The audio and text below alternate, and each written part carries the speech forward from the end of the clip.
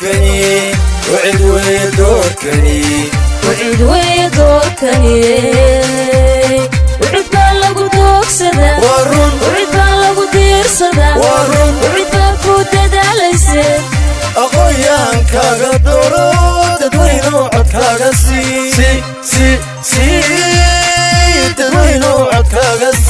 kalfadhi aan caadi ahayn oo shirka golaha dhexe ee xisbiga cadaaladda iyo daryeelka wiciida uu ku dooranayaan musharaxa madaxweyne ku-xigeen ee xisbiga cadaaladda ayaa maanta waxaa lagu caleema saaray hotel aadam ee magaalada hargeysa. Musharaxa madaxweyne ku-xigeen ee xisbigaasi ayaa laga soo doortay. Gobolada bariga somalilan waana markii ugu horeysay ee xisbiyada somalilan mid ka mid ahi uu ku dhiirado in musharaxiisa madaxweyne uu ka soo doorto goboladaasi bariga ee somalilan musharaxa madaxweyne ku-xigeen ee xisbigaasi cadaaladda iyo daryeelka wiciida ee u ordi doono doorashooyinka la filayo inay ka qabsomaan somalilan ayaa noqday brofeser axmed cabdi muuse abyan haddaba munaasibadan ay u reebanayd soo dhoweynteedu ayaa waxaa ka soo qayb galay saraakiisha ugu sarsaraysa ee xisbiga cadaaladda iyo daryeelka wiciid gudoomiyaha xisbiga cadaaladda ahna musharaxa madaxweyne ee xisbigaasi cuqaal waxgarad sulaadiin iyo dadweyne aad u tiro badan. Munaasibadaasina barbilow waxaa halkaasi hadal ka jeediyey afayeenka xisbiga cadaaladda iyo daryeelka wiciid waxaanu yidhi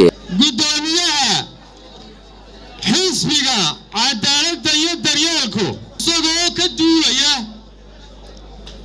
midnimada. Dalka jamhuuriyadda somalilan isagoo tixgelinaya sinaanta ay siman yihiin muwaadiniinta jamhuuriyadda somalilan. Bari ilaa galbeed. Isagoo tixgelinaya la tashigii uu la tashaday dhammaan waxgaradka jamhuuriyadda somalilan. Markuu arkay qodobada labiyo siddeetanaad ee dastuurka jamhuuriyadda somalilan qodobka saddex iyo siddeetanaad ee dastuurka jamhuuriyadda somalilan qodobka labiyo labaatanaad ee xeerka doorashooyinka xeer lamber twenty waxa uu go'aansaday xisbiguna la qaatay inuu shaaciyo xubnahan muhiimka sidoo kale waxaa munaasabadaasi halkaasi isagoo hadal ka jeediyey suldaanka guud ee sulaadiinta somalilan suldaan maxamed suldaan cabdiqaadir waxaanu hoosta ka cariiqay inuu faysal cali waraabe uu noqon doono musharaxa u qalma ee hogaamin doona qaranka somalilan islamarkaana lagu aamini doono dalka. Waxaanu yidhi laakiin maxaa jira? Waxa aniga ii qarsoon.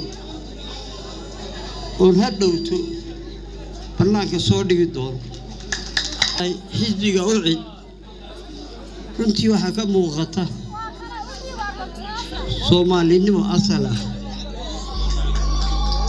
Ista kale waxaa isna halkaasi ka hadlay oo hadal ka jeediyey gudoomiye ku-xigeenka koowaad ee isaga loo cumaamaday xilkaasi gudoomiye ku-xigeen cabdinaasir maxamed xasan buuni waxaanu yidhi waa dhammaystirkii somalilan faysal cali xuseen wuxuu galay taariikh weyn oo xisbiyada somalilan gelin inuu musharaxii madaxweyne ku-xigeenka ku dhammaystiro somalilan ayuu qaatay taas ayuuna maanta ugu guulaysan doonaa musharaxa madaxweynenimada ilaahaydankiina wuxuu noqon doonaa ka talada kala wareega axmed maxamed maxamuud siilaayo isaga iyo musharaxa madaxweyne ku-xigeenka ee abyan geesta kale waxaa isna halkaasi ka hadlay oo hadallo ka jeediyey musharaxa madaxweyne ku-xigeen ee xisbiga cadaaladda iyo daryeelka wicid uu u xushay. In maanta laga bilaabo uu ahaado musharaxa madaxweyne ku-xigeen ee xisbigaasi. Musharaxan oo laga soo doortay gobollada beriga somalilan iyadoo ay markii ugu horreysayna tahay ee musharax noocan oo kale a laga soo doorto. Goboladaasi ee beriga somalilan yeeshee xisbiyada dhigiisa ee wadan iyo kulmiya ayaa iyaga musharaxa madaxweyne ku-xigeen waxay ka soo xusheen.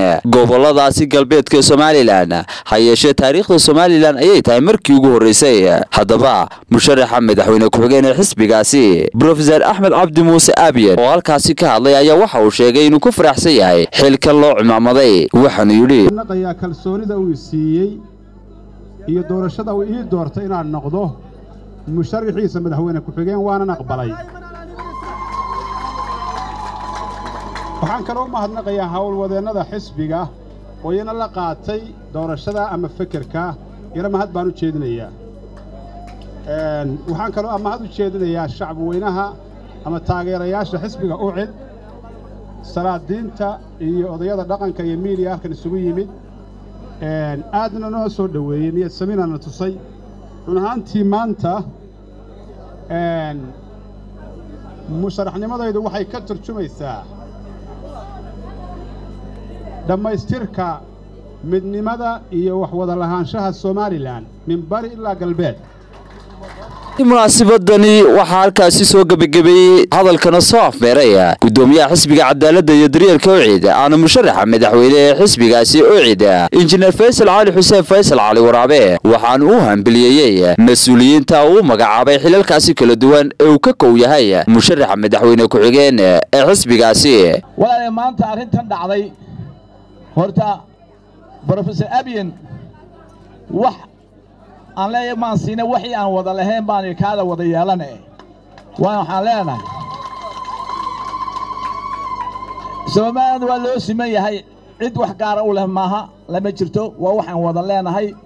Markaa waxaan idhi warkaa xusbigan maanta haddaynu nahay bari iyo galbeedba. Aynu wada yeelano yaan galbeed u quri yeelanin marna yaanu barigo kaliya yeelanin hala wada yeesha si soomaaliya u dhegmaato aad iyo aad isku dayeyn oo aad iyo aad isku dayeyn inay dadka tusaan in faysal ciidagada la joogin. War ciidagada meel kale tegi maaye. Ha ku habsaamin ale walaalay ha ku habsaamin. Assalaamu calaykum haddaba mas'uuliyiintan la soo magacaabay ee markaasi uu ka kow yahay musharaxa madaxweyne ku-xigeen ee xisbigaasi iyo sidoo kale gudoomiyaha ku-meel xisbiga cadaaladda iyo daryeelka ocida iyo weliba gudoomiye ku-xigeenka koowaada ayaa xeerka xisbiga cadaaladda iyo daryeelka ee xeer lomber for waxa uu sheegayaa in gudoomiyuhu awood u leeyahay inuu soo buuxiyo boosaskaasi bannaana waana markii ugu horraysay taariikhda somalilan. Mid ka mid a xisbiyada asxaabta somalilan uu ka soo xusho musharaxiisa madaxweyne ku-xigeen goboladaasi bariga somalilan waa khaalid yuusuf xasan khaalid fantastic telefishinka caalamiga somali news. Hargeysa